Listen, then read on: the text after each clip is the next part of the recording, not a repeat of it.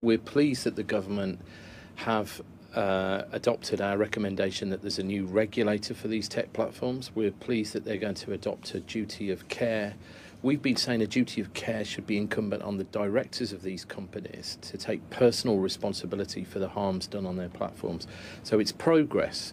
Though we do think it misses, there's some gaps in, uh, in it, uh, particularly the fact that it doesn't really address the market failure.